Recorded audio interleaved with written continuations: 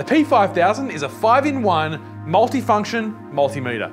On top of being a professional grade digital multimeter, it also measures noise, illuminance, humidity, and temperature. The multimeter features both an automatic range or a manual range if you prefer. It has overload protection and a battery under voltage indicator. It shows the humidity and the temperature on screen at all times via the sensors on top. On top is also where you'll find the microphone measuring the decibels in the environment's audio level.